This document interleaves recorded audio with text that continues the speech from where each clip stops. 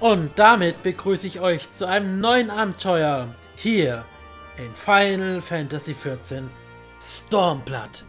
Ja, Konrad hier sagt uns, begrüßt uns jetzt hier in Radgars Wacht.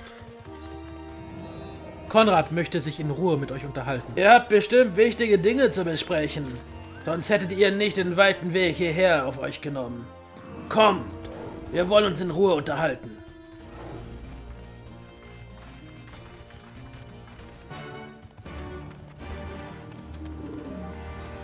Okay, irgendwo in dem Gewimmel hier muss Konrad stecken.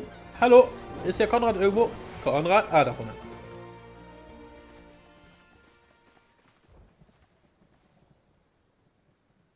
Ich heiße euch abermals in Ralgas Wacht willkommen.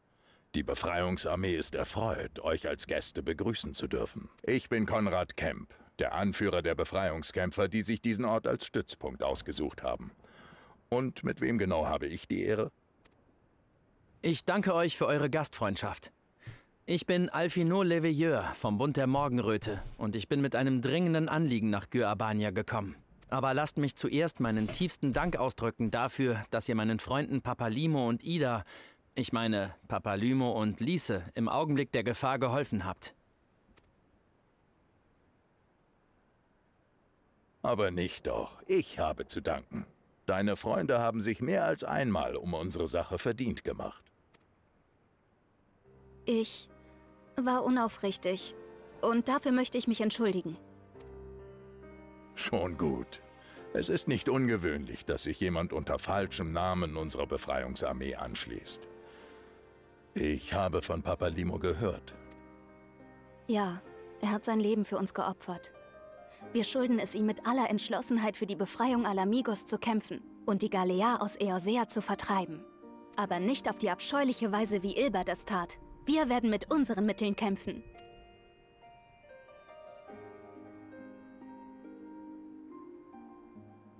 Auch wir haben Leute an die Eisenmasken verloren, die sich von den Reden des Greifen haben einfangen lassen.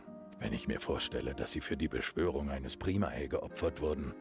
Ein grausames Schicksal für diese guten Seelen. Nago hat mir auch gesagt, dass euer Bund der Morgenröte für unsere Sache einstehen will. So ist es. Der Bund der Morgenröte tritt heute vor euch, um ein Vorhaben zu unterbreiten, das uns der Befreiung aller Amigos einen großen Schritt näher bringen wird. Die Eosäische Allianz hat uns geschickt, um als Vermittler aufzutreten. Sie schlägt der Befreiungsarmee von Alamigo vor, ein militärisches Bündnis einzugehen. Ich bin ganz Ohr. Sprich weiter. Also, wir würden nur angreifen, wenn ihr zustimmen würdet. Ich verstehe. Um ehrlich zu sein, kommt das Angebot wie gerufen. Wir stehen einem mächtigen Gegner gegenüber und meine Truppen sind weit unterlegen. Aber ich würde mich gerne erst mit meinen Vertrauten beraten. Darf ich um etwas Zeit bitten, bevor ich mich entscheide? Selbstverständlich. Wir werden auf eure Antwort warten.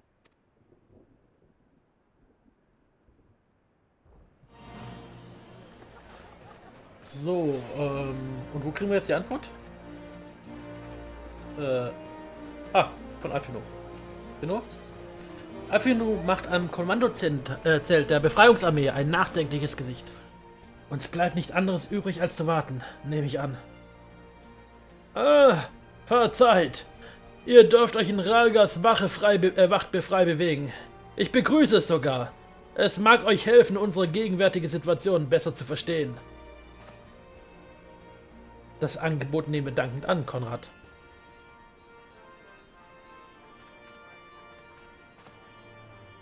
Dann wollen wir uns mal ein wenig im Lager umsehen. Ein bisschen Zeit für eine Erkundung? Das klingt doch verlockend.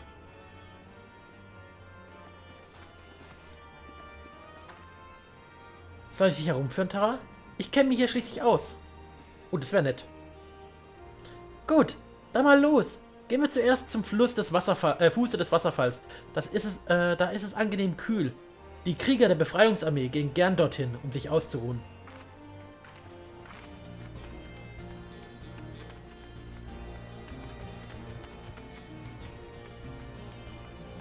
So, Lise. Nett hier, oder? Du hast es sicher schon gemerkt. obwohl Alamigo hauptsächlich von Hochländern wie mir bevölkert ist, gehören mehr als die Hälfte der Befreiungskämpfer zu einem anderen Volk. Wir haben mutige Kämpfer der Lohngarde hier und auch viele Goldtatzen, sowie Nagu.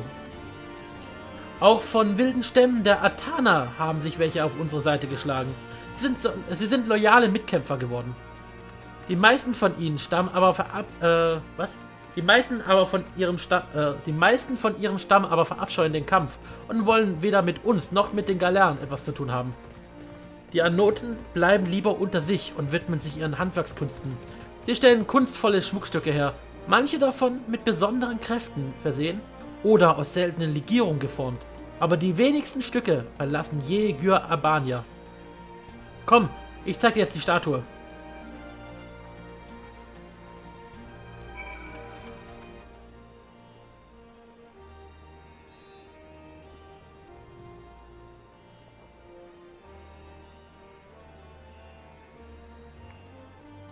Beeindruckend, oder? Der Zerstörer führte unsere Ahnen einst in dieses Land. Ida hat mir die Geschichte oft erzählt. Sie war ihr sehr wichtig. Gegen Ende der fünften Ära des Lichtes, als das Wasser höher und höher stieg, flehten die Völker Azoras ihre Götter an, ihnen ein Zeichen zu schicken. Und ein brennender Stern erschien im Osten und führte sie bis in die Berge von Gir Abania. Diejenigen, welche den Stern folgten, schworen den Gott der Kometen und der Zerstörung aus Dank für ihre Errettung ewige Treue. Ein Sturm aus Blut wird kommen und öffnen die sieben Höllen weit. Wenn die sieben Höllen weinen, kein Leid erfährt über, den Ral über wen Ralga wacht. Das Gedicht wurde hier von einem Mönch der Faust in den Stein gemeißelt. Es bedeutet, dass uns eines Tages ein Schicksal ereilt, dem keiner entrinnen kann. Nur wer unter Ralgas Führung seinen Körper und seinen Geist stehlt, wird aus dieser Prüfung des Schicksals vorbereitet sein. Ob der drohende Krieg dieses, dieser Sturm aus Blut ist? Wenn das so ist, müssen wir darauf vertrauen, dass wir gut vorbereitet sind. Dass Ralga uns den richtigen Weg gewiesen hat. Entschuldige, ich habe mich etwas in die Geschichte hineingesteigert. Wollen wir weiter? Als nächstes steht das Lazarett auf dem Programm. So, Lisse. Hier im Lazarett verarzten die Heiler der Befreiungsarmee die Kranken und Verletzten. Wir schätzen jedes Leben und versuchen immer Verluste zu vermeiden. Aber jeder, äh, jeder Krieg fordert seine Opfer. Das sollte man nie vergessen. Wir sollten hier nicht länger im Weg stehen. Komm, wir gehen noch zum Ätheriten.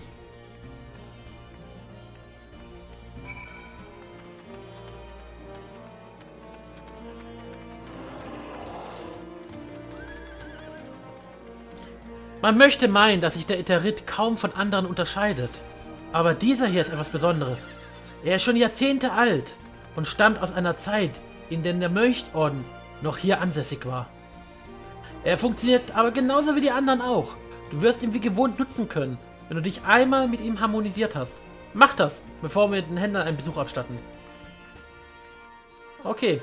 Ja, ich habe mich schon mit den Ätheriten äh, harmonisiert, also gleich weiter zu den Händlern. So, Lisse. Und jetzt? Da sind auch Alfino und Alisa, äh, Alice. Das ist, äh, was sie sich wohl schon alles angesehen haben? Waffen, Rüstungen, Tränke. Hier findest du alles, was du, äh, oder fast alles, was du auch auf einem Markt in einem der Stadtstaaten finden würdest. Ohne die mutigen Händler, die sich hierher wagen, hätte die Befreiungsarmee ihre liebe Not. Habe aber keine Hemmung, hier einzukaufen oder etwas reparieren zu lassen. Die Händler sind für dich genauso da wie für die Kämpfer der Befreiungsarmee. Sieh dich ruhig einmal um. Oh, was kriege ich denn? Äh, Stein, da, da, verstümmeln, schlagen, spähens. Gibt es keinen Heiler? Dann halt Assassinenmaterie.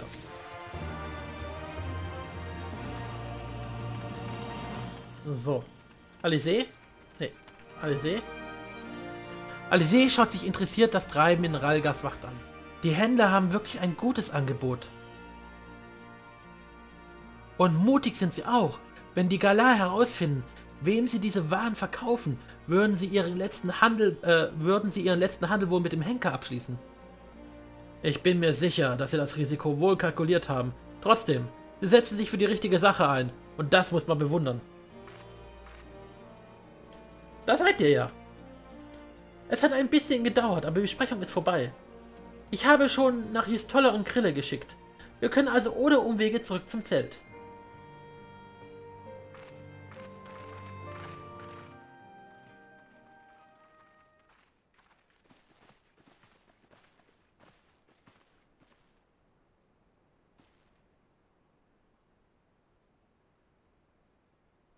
Vielen Dank für eure Geduld. Ich habe einen Entschluss gefasst. Jetzt bin ich mal gespannt. Ich nehme den Vorschlag der Eosäischen Allianz an und werde ein militärisches Bündnis mit ihr schließen. Aber es gibt eine Einschränkung. Ach, die Einschränkungen, das sind immer die Probleme. Was meint ihr damit? Ich bin für den Vorschlag der Allianz sehr dankbar und würde Ihre Hilfe gerne uneingeschränkt annehmen. Aber ihr müsst verstehen, dass es sich bei der Befreiungsarmee nicht um eine geeinte Streitmacht handelt. Es gibt viele verschiedene Gruppierungen. Ich kann nur für die Kämpfer hier in Ralgars Wacht sprechen. Nur meine Untergebenen werden dem Bündnis beitreten. Ich werde natürlich alles dafür tun, dass sich auch die anderen Gruppierungen anschließen, aber ich kann es nicht garantieren. Ich möchte, dass ihr das versteht. Dafür haben wir Verständnis. Dann werden wir der Allianz übermitteln, dass sich Konrads Kämpfer für ein Bündnis entschlossen haben. Vielen Dank. Eins müsst ihr wissen. Es haben sich mehr Kämpfer den Eisenmasken angeschlossen, als ich zugeben möchte. Ich plane daher, meine Truppen neu zu organisieren. Dabei werde ich das anstehende Bündnis berücksichtigen. Wenn wir irgendwie helfen können, werden wir euch bei der Neuorganisation nach besten Kräften unterstützen. Seht es als Zeichen unserer Freundschaft. Wie könnte ich das abschlagen? Ich bin froh, so tatkräftige Verbündete gefunden zu haben. Dann werden Jestola und ich das Lazarett besuchen. Wir werden uns als Heilerin nützlich machen. Ich werde zum Sonnenstein zurückkehren. Unter den Mitgliedern des Bundes finden sich bestimmt noch weitere Krieger, die für Alamigos Unabhängigkeit kämpfen wollen.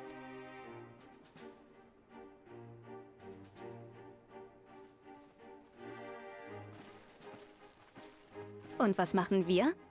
Kämpfen! Wenn ich einen Vorschlag machen dürfte. Nage und Mefrid könnten etwas Hilfe bei einer Aufgabe gebrauchen, die ich ihnen anvertraut habe. Okay. Verstanden. Wir schauen gleich bei Ihnen vorbei. So, äh, wo sind die denn? Alle stehen, alle ihr seht, hier. Konrad möchte, dass wir zuerst Nago und Mefrid zur Hand gehen. Eine Arbeit, so gut wie die andere. Du könntest dich also frei entscheiden, wem du zuerst helfen, helfen willst, Tara. Erstmal will ich einen Helm kriegen. Vielen Heilung. Da. Ha, uh, nett, nett, nett.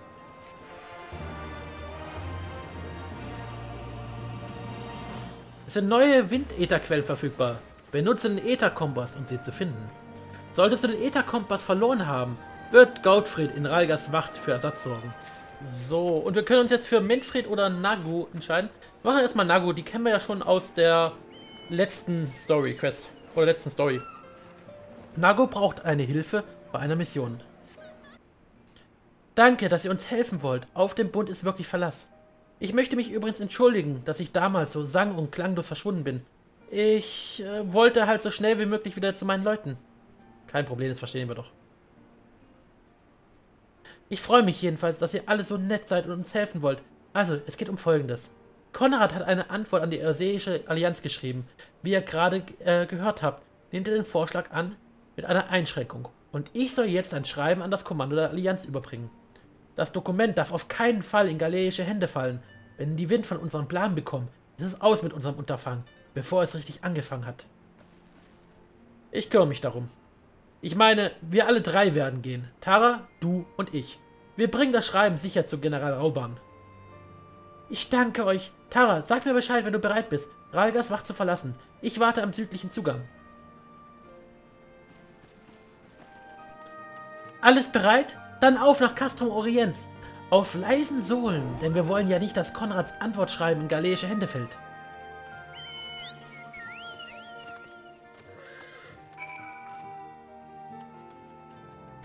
So, Alamigo. Äh, Namogo. Psst, ich höre das Pfeifen von einem Erzseimantrieb. Äh, Eine Patrouille. Äh, ich höre nichts. Ich habe die Ohren einer Jägerin. Das Pfeifen hat mir verraten, dass sich die Patrouille aufgeteilt hat. Sie sind auf der Suche nach uns. Teilen wir uns auch auf. Dann können wir besser verbergen, aus welcher Richtung wir kommen. Die Galère dürfen auf keinen Fall erfahren, wo der Unterschlupf der Befreiungsarmee liegt. Dann greifen wir sie an aus drei Richtungen. Das wird sie verwirren und besser wir erledigen sie jetzt und hier, als dass sie uns später noch auf äh, die Schliche kommen. Tara, komm von Süden, Alizé von Norden. Wenn die Patrouille erledigt ist, treffen wir uns am Fu äh, Flussufer äh, wieder. Gute Jagd. So, da vorne müssten die dann sein.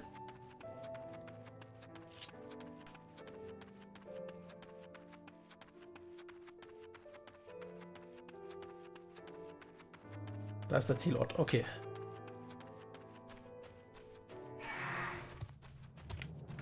Ja, vielleicht machen wir dich erstmal platt.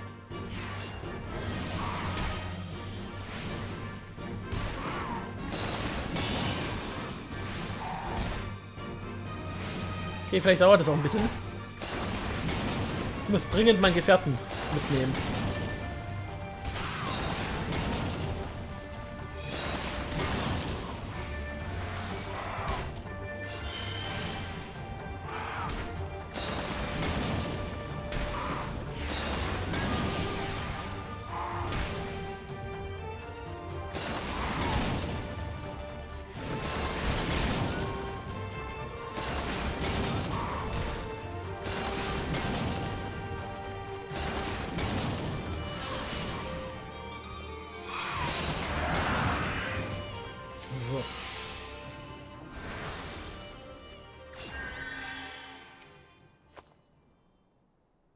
Hm, irgendwas Auffälliges?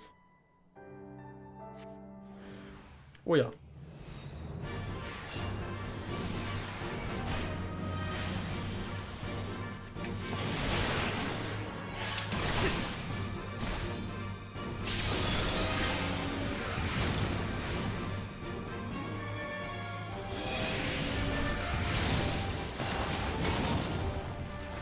So, das ging doch relativ fix.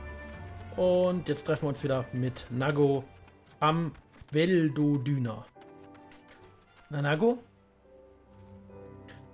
Ich habe meinen Teil der Patrouille ausgeschaltet. Bis sie bemerkt äh, gemerkt haben, dass sie angegriffen werden, war der Kampf schon vorbei. Ihre Moral war, äh, Moral war sofort hinüber. Wahrscheinlich waren es Strafversetzte aus anderen Provinzen. Die lassen die Schwerter immer zuerst fallen. Aber das heißt nicht, dass alle Kämpfer so, äh, äh, dass alle Kämpfe so glatt gehen. Wir sollten weiter auf der Hut bleiben. Besonders, wenn wir es mit, den, äh, mit mehr Kampfmaschinen zu tun haben. Die können, ähm, die können nämlich richtig wehtun. So, was kriegen wir dafür?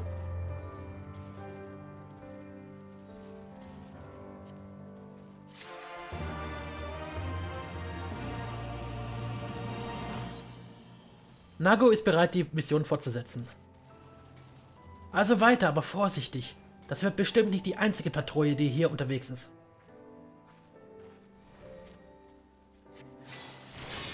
So, Nanago.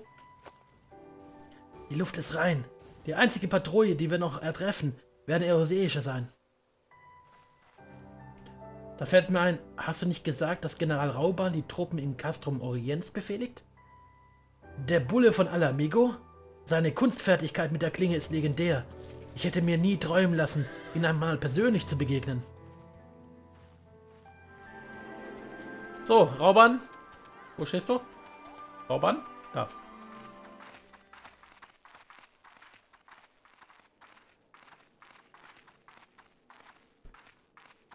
Und? Habt ihr Kontakt zur Befreiungsarmee aufnehmen können? Ja, und wir haben eine Botin mitgebracht. Ihr Name ist Nago, eine Kämpferin der Befreiungsarmee aus Raigers Wacht. Sie ist hier, um die Antwort auf den Vorschlag der Allianz zu überbringen.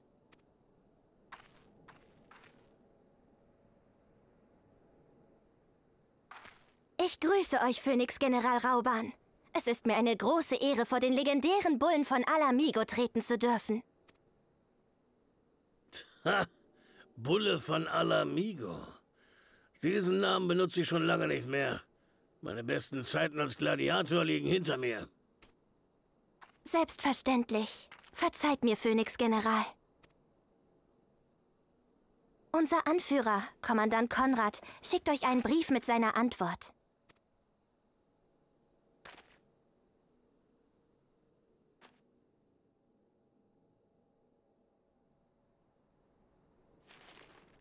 Er nimmt unseren Vorschlag also an. Das beruhigt mich. Bleibt nur noch zu hoffen, dass die geplante Neuorganisation seiner Truppen reibungslos verläuft. Wir sind weniger, als ihr denken mögt. Viele gute Männer und Frauen haben sich den Eisenmasken angeschlossen und durch Ilberts Wahnsinnstat ihr Leben verloren. Seitdem hat die Bevölkerung das Vertrauen in uns verloren. Es fällt uns schwer, neue Kämpfer zu rekrutieren. Die Megiten sehnen sich nach Freiheit. Aber niemand will sein Leben für einen Kampf riskieren, den man nicht gewinnen kann. Wenn wir von den Megiten verlangen, dass sie sich blindlings in einen hoffnungslosen Krieg werfen, sind wir nicht besser als der Greif. Dann sollten wir ihnen zeigen, dass es nicht hoffnungslos ist.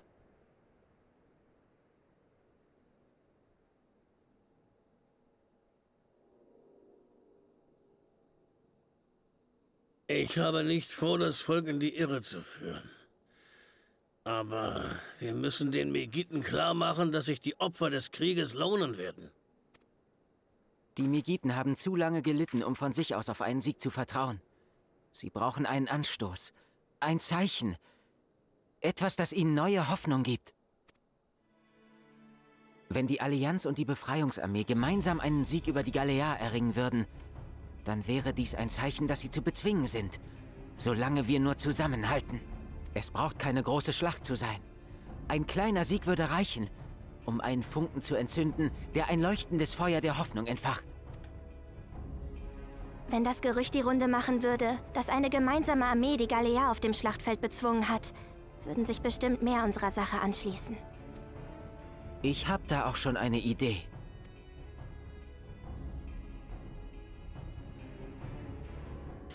Wie unsere Späher berichtet haben, führt Castlum Velodina über eine neue, äh, verfügt Castlum Velodina über eine neue Waffe. Eine Art experimentelle Magitech-Maschine. Wir vermuten, dass die Waffe hier getestet werden soll, und zwar im Kampf gegen uns. Wir müssen jederzeit damit rechnen, so einem neuen Frontbrecher gegenüberzustehen. Noch mehr Magitech-Waffen? Verdammt, das hat gerade noch gefehlt. Deine Sorge ist berechtigt, aber wir brauchen nicht zu verzweifeln. Mit der Ortskenntnis der Megiten und der Kampfkraft der Eoseer sollten wir mit der neuen Bedrohung fertig werden. Mit jeder Art von Bedrohung, wenn du mich fragst.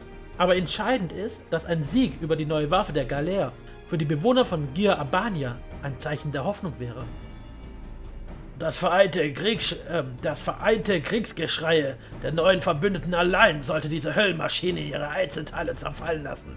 Die Galer werden sich wundern, wie wenig Technik, äh, wie wenig ihre wie wenig ihre Technik ihnen nutzen wird. Wenn es uns gelänge, einen neuen Prototyp der Galea zu zerstören, würden die Megiten uns wieder vertrauen und den Galeeren würde es sicher den Wind aus den Segeln nehmen. Das denke ich auch. Sie wagen sich jetzt schon weit, äh, zu weit vor. Ein kleiner, aber schmerzlicher Denkzettel könnte nicht schaden. Wir werden hier und da ihre Patrouillen attackieren, damit sie ihren Prototypenwaffen einsetzen. Am besten im, na, äh, in der Nähe von Ostmischwald. Dann könnte unsere Freunde vor der Befreiungsarmee ihnen in den Rücken fallen. Ein guter Plan. Ich würde ihn gern gleich in die Tat umsetzen. Was sagst du dazu? Wir werden die Galea herauslocken und gemeinsam in die Zange nehmen. Gebt mir nur Zeit, meinen Kriegern Bescheid zu geben. Verstanden. Sobald ich die Einzelheiten ausgearbeitet habe, werde ich sie einen Boten übergeben.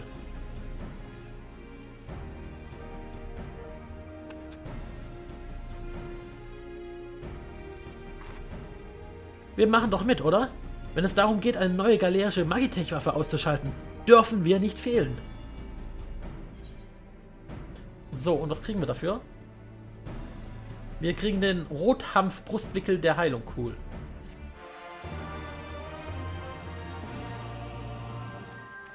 So, aber wie die Quest jetzt weitergeht und wie die Attacke vonstatten geht, das erfahren wir dann in der nächsten Folge. Bis dahin sage ich vielen Dank, dass ihr zugeschaut habt. Wir sehen, hören und spielen uns dann beim nächsten Mal. Und ich hoffe, es hat euch gefallen. Und natürlich freue ich mich immer über den einen oder anderen Like oder über einen Kommentar von euch. Bis dahin, macht's gut. Ciao, ciao.